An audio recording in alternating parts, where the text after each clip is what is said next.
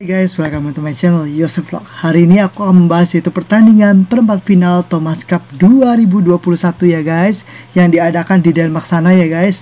Nah, aku akan memberitahu kalian secara detail ya Pertandingannya dan hasilnya.